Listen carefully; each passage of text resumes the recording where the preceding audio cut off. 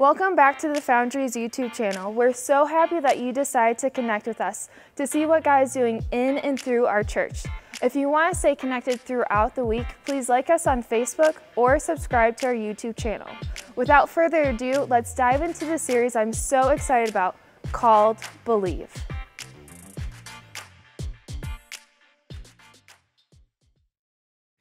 We are going to start out today. I want to start out by telling you a story uh, from my childhood where it was very traumatic. So, because of this event, I avoid a certain thing.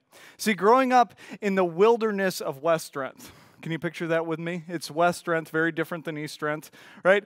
At the age of 10, uh, me and my sister had a garden growing up, and we were in charge of weeding it and uh, watering it. We'd plant carrots and potatoes and corn, um, and we just had a blast in this garden. We took a lot of responsibility in this garden. So, there'd be a lot of days in the summer when it's dry that we'd have to carry buckets of water out to the garden, which was about 100 yards from the house. And we i did one of these days i was doing this alone and i was carrying buckets and um, i was awful weak at that point too um, so it'd be like two gallon buckets not actually five gallons like you're probably picturing so i'd be carrying these buckets out and i get out to the garden and i see there's something rustling in the garden i'm like well, what is that? And something's in my garden. I was quite upset because I had put a ton of time in this.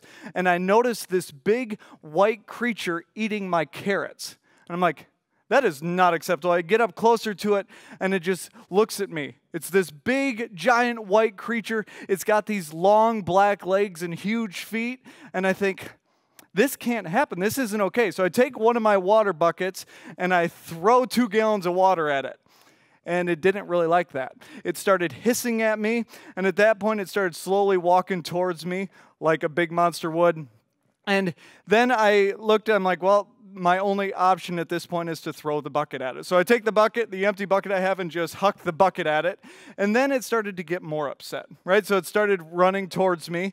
And I realized at this point, this is the end for me. This is how I go out. I get eaten by a giant white beast. And I run run home as quick as I could. I run to the house, and I was 10, so give me a little bit of grace, but I was weeping at this point. I was crying. I was really upset. This thing was about to eat me. And I run into the house, and my mom's like, What's, what's going on? What's wrong? This swan is in my garden, right? I, I was super upset. She's like, We've never seen a swan on our property ever, and there's a swan in the garden eating carrots. That doesn't make any sense. And I'm just weeping. I'm really upset. And I walk her out to the garden, and of course, there is no swan there. And the swan had, I say, disappeared. I don't think my mom to this day thinks that there was ever a swan there. She doesn't believe me. But I still, to this day, avoid swans. I do not like swans. Even the swan rides at Michigan Adventure, right, where they just paddle out, I'm like, eh, not even dealing with those types of things. Right?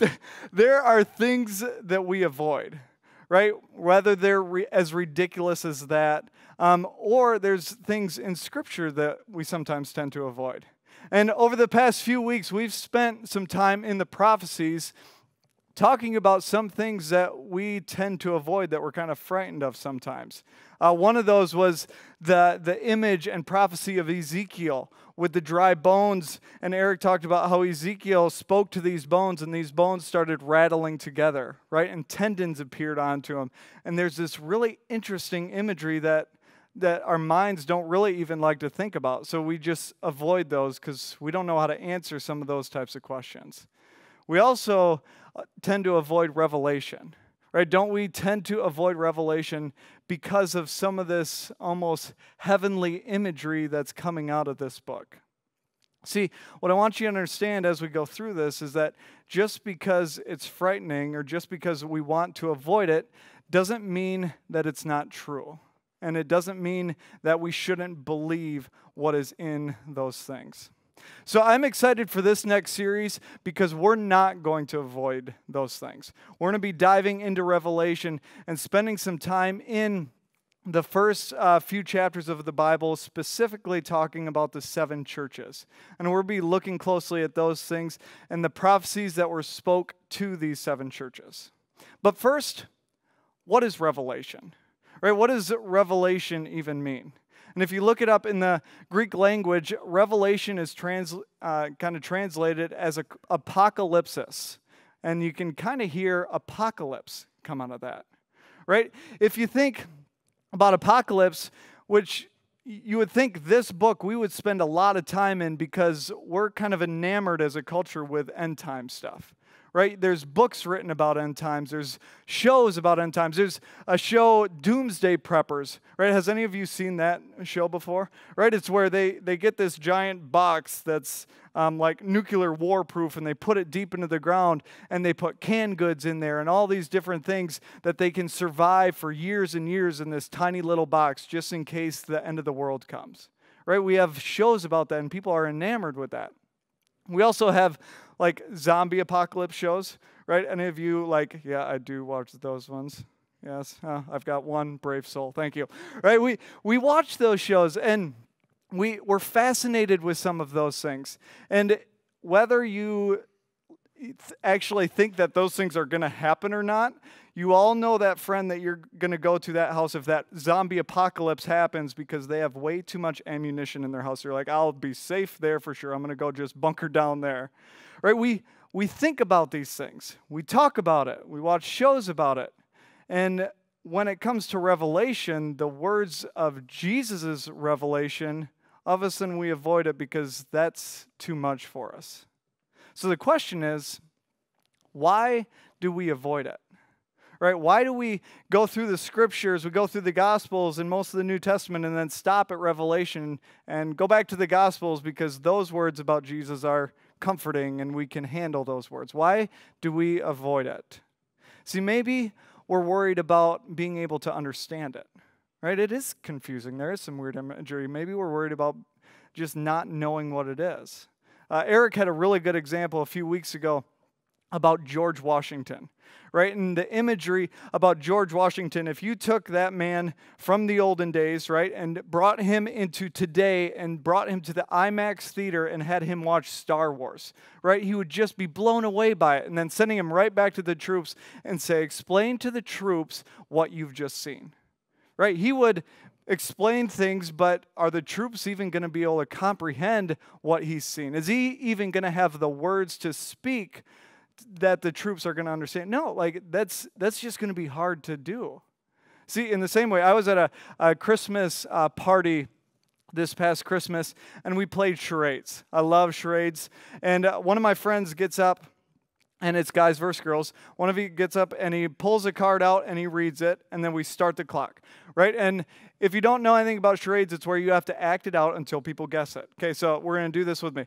I, he pulls it out and he does this. What do you think this is? Moose, reindeer, Rudolph the red-nosed reindeer, right? We were shouting all of these things out. No, no, and he kept going like this and very determined. This this is what we were going to get. And this went on for a minute and we kept shouting out different creatures with with horns and we just no, he got more and more frustrated. The time ran out, he threw it down, and we're like, "What were you?" And he's like, "I was an elf." we're like you were doing this. He's like, No, oh, I meant to do this. And we're like, Oh, my word, right? He knew exactly what he was trying to do, right? He knew what was on that card. He could imagine exactly what that thing looked like. But when he was trying to get it across, we, we didn't know what he had seen on that paper. Right? We didn't know the image that was in his mind, and yet he was so clear about it. So, John is going to describe some things in Revelation, some of these images that he has seen in a way that we can't even comprehend. In the same way of the charades or George Washington, there's just some heavenly images that are probably not going to make sense to our minds, but that doesn't mean we can avoid it. Or that doesn't mean we shouldn't believe the words that are in there. Because John starts this prologue by saying, Blessed are the people who hear it and put it on their hearts. Right? So there is reason about that. We can't avoid revelation because it's scary, because it's confusing, or we, we're worried about understanding it. So let's get right into it. Let's start by reading, reading Revelation 1 1 through 3. So, the revelation from Jesus Christ, which God gave him to show his servants what must soon take place. He made it known by sending his angel to his servant John, who testifies to everything he saw. That is the Word of God and the testimony of Jesus Christ. Blessed is the one who reads aloud the words of this prophecy, and blessed are those who hear it and take it to heart what is written in it, because the time is near. So there's a few things going on in this passage. Um, and it's a little bit different than most books because there's a few different kind of right it's not different writers but different images that are going to come across. So one of them is john. Okay so we're going to be talking about john and the visions that he saw.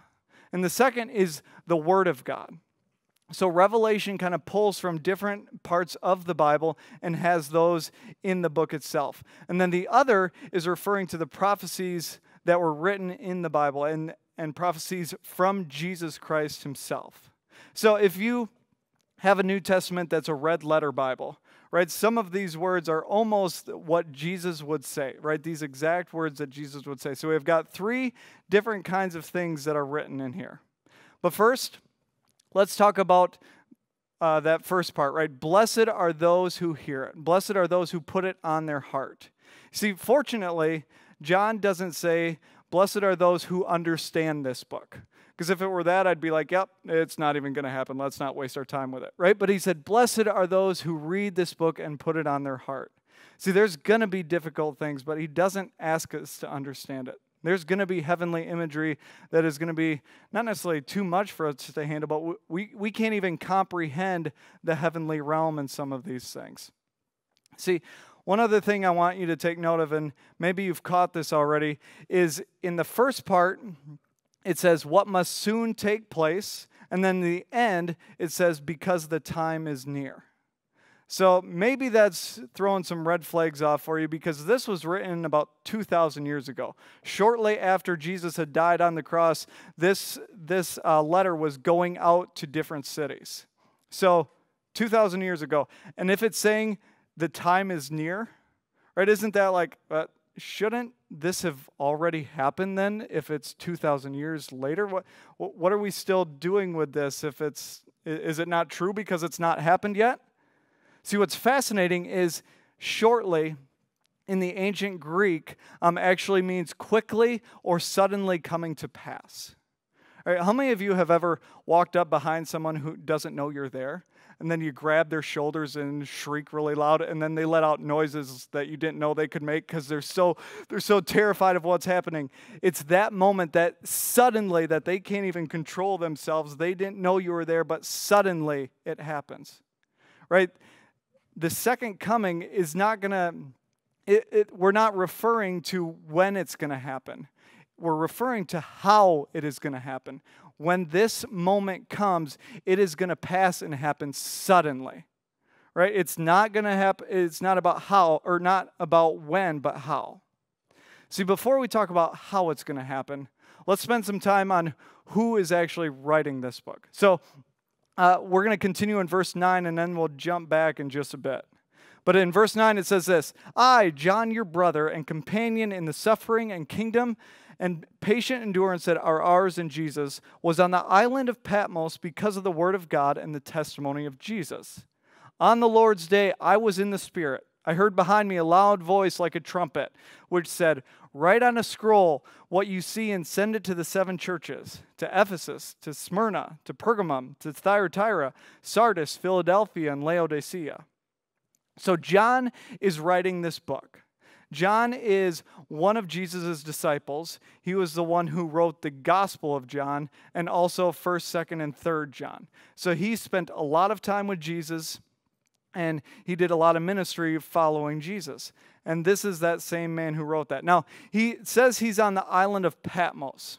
And what you need to know about that, it was actually a prison camp that Rome had set up. Now, by this time, uh, by this time that it was written, all of the disciples had been killed.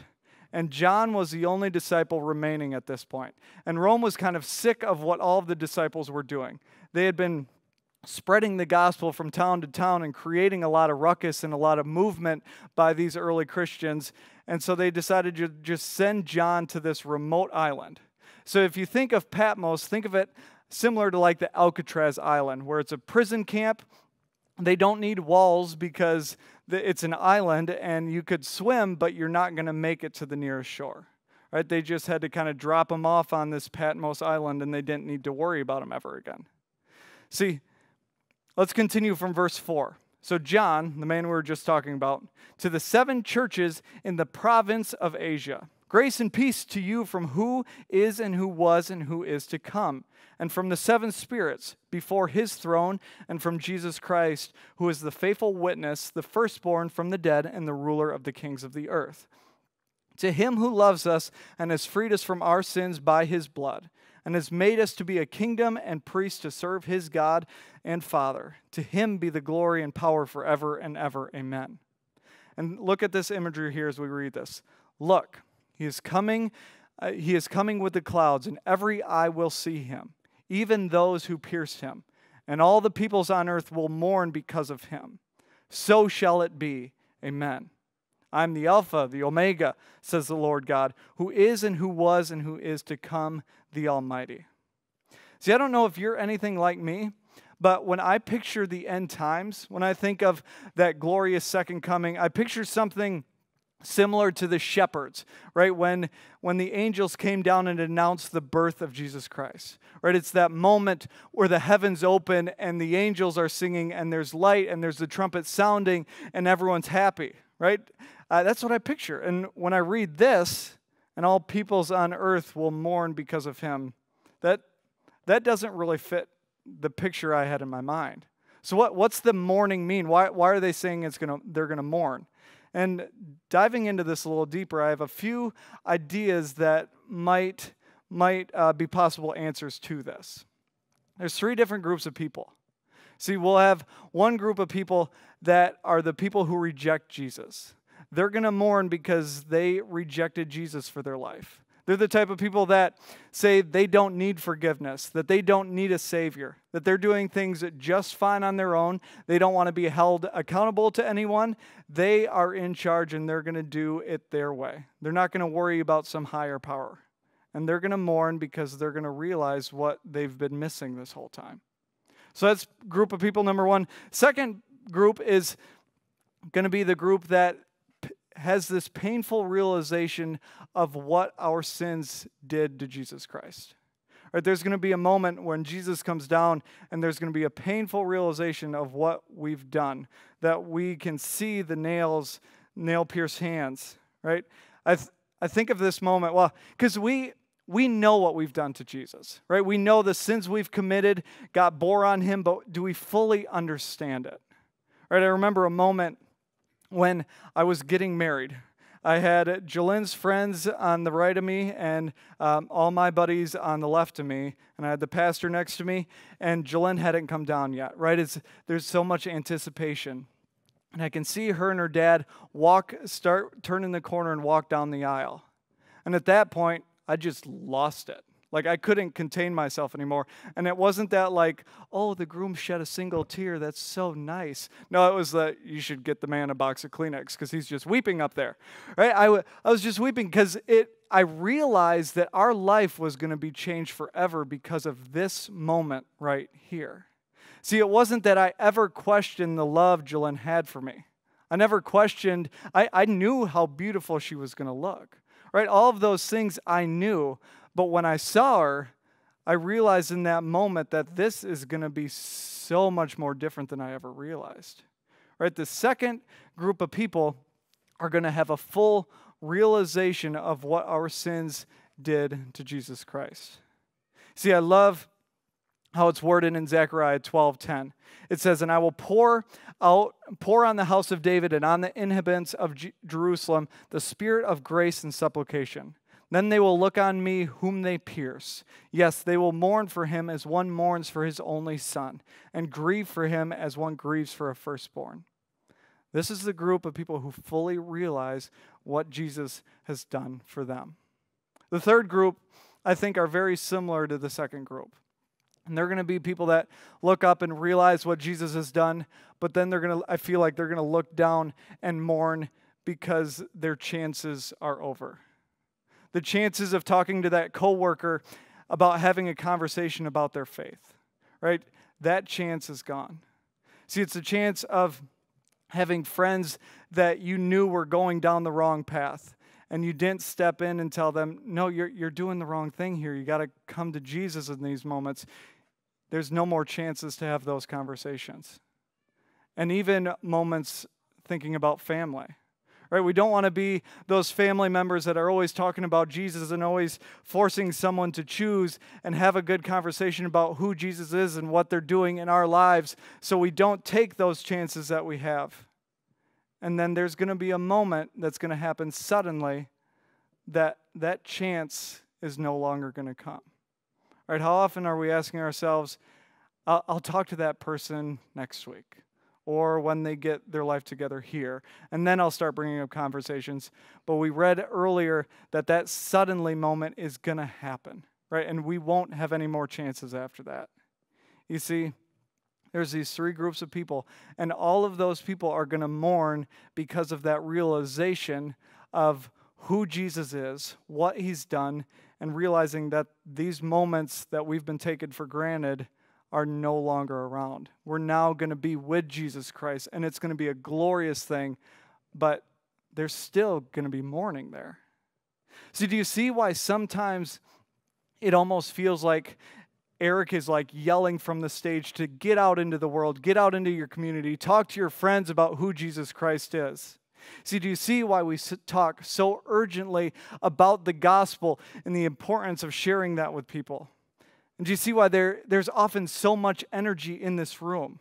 And I think it's because so many of you realize that, realize that time is short for the lost. Right? Time is short. We never know when that moment, that sudden moment is going to happen. You see, if you believe anything about what I said today, if you catch anything, understand that we cannot avoid what the scriptures say about this. And this may feel like a lot of do's and a lot of don'ts, but do not avoid the scriptures. Do not avoid revelation. But don't go into revelation expecting to be entertained with it by the imagery that comes up. It's not like one of the zombie shows, it's not like doomsday preppers. These are moments that are real, right? This is the Word of God, this is the gospel. And revelation is the conclusion to that story. Right? The whole Bible is one story. There is a theme throughout the whole thing, and Revelation is that conclusion. Have any of you wondered what the audio blips on the backstage were? Right? This is woven throughout all of Scripture, including Revelation. God says this throughout all of Scripture I love you right? It does not stop in Revelation. Revelation may have some interesting imagery that we don't understand, but that doesn't mean God isn't screaming, I love you, right? And I'm coming back for you. See, Revelation is the finale when we finally get to realize all of the things that Jesus Christ has done for us. And there are going to be mysteries that we don't understand. There's going to be things that we'll never understand until we're with him at the pearly gates. Right, I love how Anselm of Canterbury said this in a quote I do, not under, I do not seek to understand in order that I may believe, but I believe in order that I may understand. For of this I am sure, that if I did not believe, or if I did not believe, I would not understand. Right? It doesn't start with understanding. It doesn't start by looking through Revelation and thinking, okay, I just got to understand this and then I'll believe. it's the opposite. It's starting with believing that the words in there are true, that the words are from Jesus Christ Himself, and that they're prophecies that are going to be true. You see, over the next seven weeks, we're going to be in Revelation. We're going to be spending most of our time in the seven churches. And these seven churches were very real places. These seven churches were places like Ephesus and Philadelphia, and all of these places are more than just in the Bible. If you ever think, well, they're just stories in the Bible. No, there's historical evidence and tons of history books that say what was written, that the, these books are real, that these places are real, that the events that happened to these places are real. See, these letters are 2,000 years old to places that most of them no longer exist anymore. but that doesn't mean that those words can't be relevant for us today. So the question I have for you is this Do you believe? Do you believe? And if you do, be here. Be here for these seven weeks as we look closer at what these seven churches encountered and the prophecies that Jesus laid on their hearts. See, take every chance you get to spread the good news of Christ. Do not avoid this because we know that that time could come and it could happen suddenly, and then there's going to be no more chances. Right? This, ha- this is going to happen suddenly. I'm calling you to believe. But that means that it can't just stay in this room. It's going out into the community. It's going out and talking to your friends and your coworkers and your family about what is important in your life. I'm calling you to believe and dive into this series with us.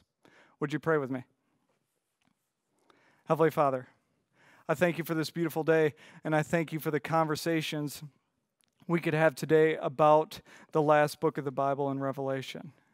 And I thank you for the words that Jesus gave to John and the images he gave to him to help us get a better idea of what is happening in these seven churches. And I ask that as we look at these over the next few weeks, that you help us realize that these aren't just old churches, that these words were just for them. I ask that you put those words on our heart as well and help us find a way to relate these to our lives. In your name we pray. Amen. Thanks for tuning in to watch this week's message. If you're looking for a way to prepare for next week, click the link below in the description box. There's where you'll find devotions. Now, devotions are a crucial part of the Foundry's weekly rhythm.